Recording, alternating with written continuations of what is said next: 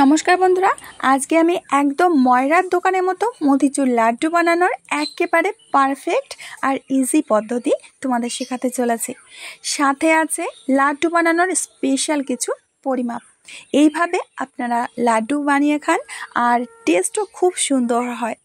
এই লাড্ডু বানিয়ে অনায়াসে আপনারা পনেরো থেকে কুড়ি দিন পর্যন্ত স্টোর করতে পারেন। একদমই খারাপ হবে না। আজ আমি গ্যারান্টির সাথে বলতে পারি, আজকের রেসিপি আপনাদের অনেক বেশি ভালো লাগবে।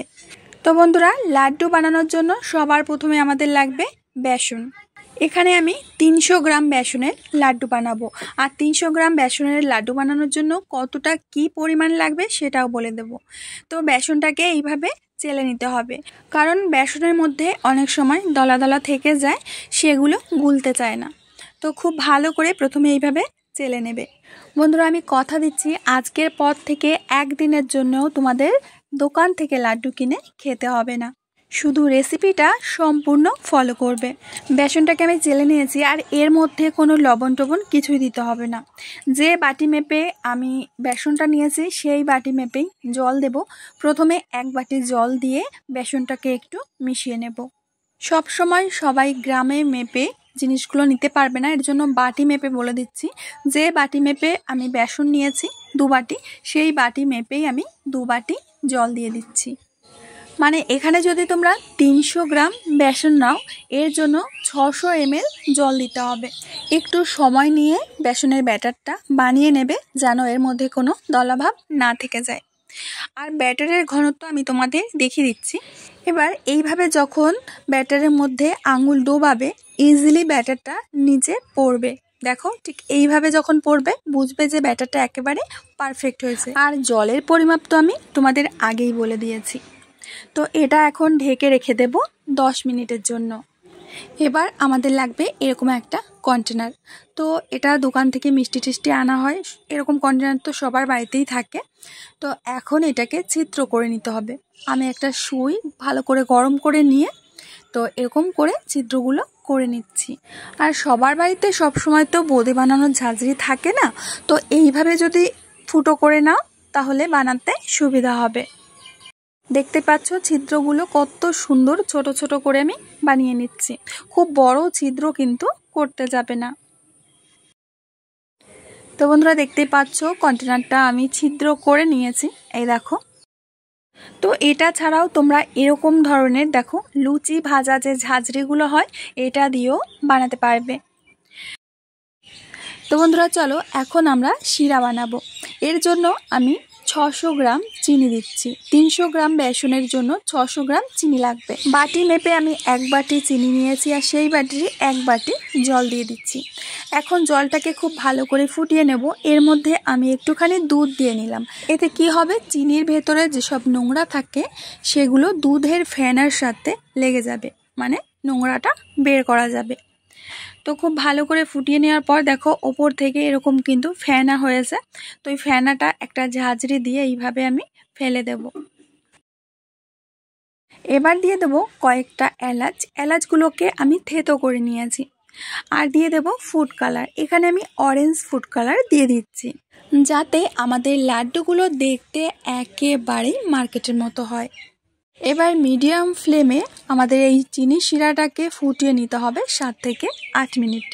তারপরে এটা আমি সাইডে রেখে দিচ্ছি। তো এদিকে আমাদের ব্যাটারটা রেস্ট হয়ে গেছে। তো তোমাদের আমি ব্যাটারের ঘনত্ব আরও একবার দেখিয়ে দিচ্ছি। এ দেখো, নিশ্চয়ই তোমরা বুঝতে পারছ অন্যদিকে একটা কড়াইতে আমি তেল গরম হতে দিয়েছি। এক ড্রপ দিয়ে দেখব তেলটা গরম হয়েছে কিনা। সাথে সাথে কিন্তু এটা তেলের উপরে ভেসে আসছে। তার মানে তেলটা খুব ভালোভাবে গরম হয়ে গেছে। এখন এই কন্টেনারটা একটু ওপরে ধরতে হবে। তেলের কাছাকাছি ধরবে না, একটু ওপরে ধরে এর ভেতরে ব্যাটার দিয়ে দিতে হবে। আর ইজিলি কিন্তু এমনি থেকেই এটা টপ টপ করে তেলের মধ্যে পড়তে থাকবে। এই সময় গ্যাসের আঁচটা কিন্তু কমাতে যাবে না, হাই করে রাখবে, না হলে বোঁদেগুলো চ্যাপটা হয়ে যাবে। যখন সম্পূর্ণ ব্যাটার দেওয়া হয়ে যাবে, তারপরে গ্যাসের আঁচটাকে মিডিয়াম করে বোঁদেগুলোকে ভেজে নিতে হবে তিন থেকে চার মিনিট সময় ধরে। এই বোঁদেগুলোকে একটু ক্রিস্পি করে ভাজতে হবে। ঠিক আছে? সাধারণ যখন আমরা বোঁদে বানাই, অতটা ক্রিস্পি করা লাগে না। কিন্তু আজকে যেহেতু আমরা লাড্ডু তৈরি করব, এর জন্য বোঁদেগুলো একটু ক্রিস্পি করে ভেজে নিতে হবে। তো ভেজে নেওয়া হয়ে গেছে। এখন তেল থেকে তুলে নেব। আর তেল থেকে তুলে সরাসরি প্লেটে রাখব না। প্লেটের উপরে একটা কাগজ দিয়ে তার উপরে রেখে দিতে হবে, যাতে বোঁদের ভেতরে এক্সট্রা তেলগুলো পেপারে টেনে যায়। আরও একবার আমি তোমাদের দেখিয়ে দিচ্ছি। আর প্রত্যেকবার কিন্তু কন্টেনারটা এইভাবে পরিষ্কার করে নিতে হবে। দেখতে পাচ্ছ আমি একদম ধুয়ে মুছে নিয়েছি। প্রত্যেকবারই কিন্তু এইভাবে করতে হবে।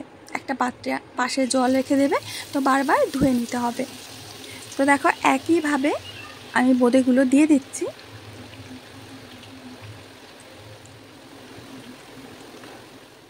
আর বন্ধুরা, তোমরা দেখতেই পাচ্ছ, প্রত্যেকটা বোঁদে কেমন গোল গোল হয়েছে। একটা বোঁদেও কিন্তু চ্যাপটা হয়ে যায়নি।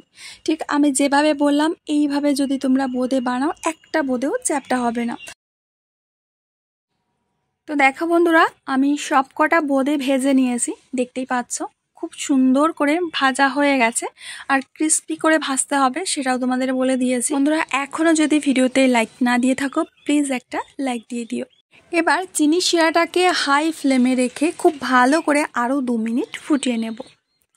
তো বন্ধুরা, প্রায় দু থেকে তিন মিনিট আমি ফুটিয়ে নিয়েছি আর গ্যাসের ফ্লেমটা দেখতে পাচ্ছ হাইতে রয়েছে। এখানে একটা চিট চিটে শিরা তৈরি করতে হবে, কোনো তার বাঁধানো শিরা তৈরি করার কোনো প্রয়োজন নেই। তো দেখতেই পাচ্ছ শিরাটা খুব ভালোভাবে ফুটছে।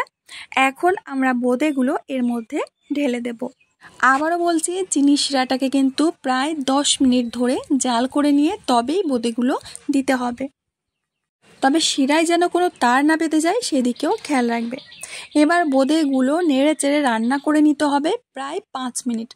যতক্ষণ না এই চিনি শিরাটা বোঁদের মধ্যে সব শোক করে নিচ্ছে, ততক্ষণ পর্যন্ত জাল করতে হবে। তাতে তোমাদের পাঁচ মিনিটের বেশি সময় লাগবে না, গ্যাসের ফ্লেমটাকে হাই করে রাখবে।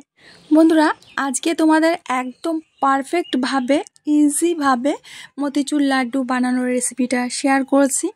আশা করছি তোমাদের রেসিপিটা ভীষণ উপকারে আসবে। প্লিজ বন্ধুদের সাথে শেয়ার করে দিও। এর মধ্যে দিয়ে দিলাম পঞ্চাশ গ্রাম মতো চার মগজ তো এটা দিলে একেবারেই মার্কেটের মতো লুকস আসবে।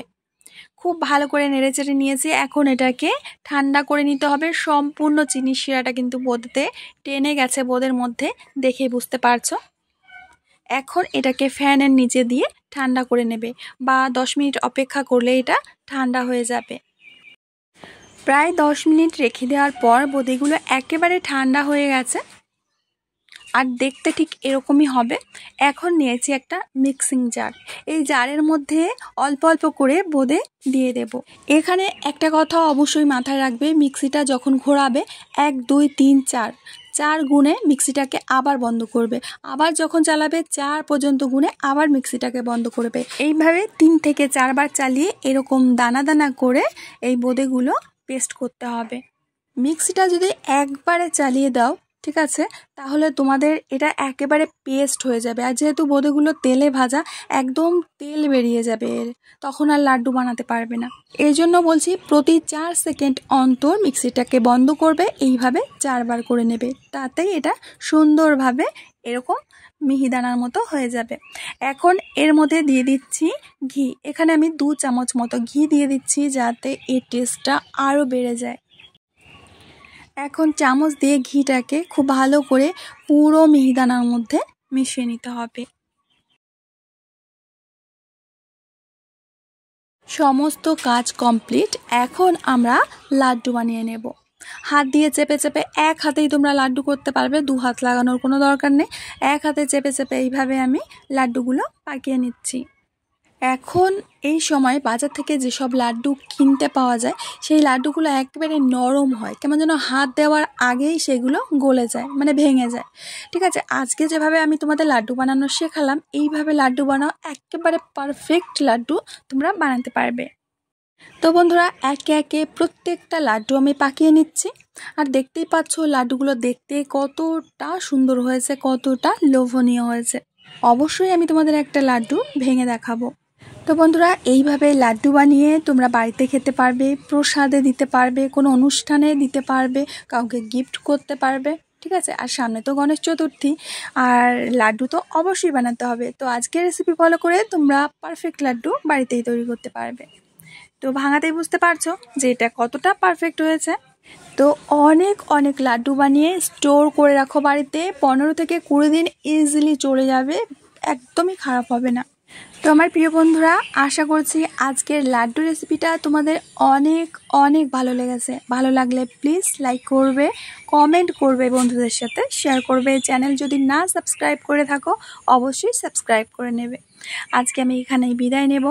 আবার আসব নতুন একটা রেসিপির সাথে। ততক্ষণের জন্য সবাই ভালো থেকো, সুস্থ থেকো, আর সকলকে সুস্থ রেখো।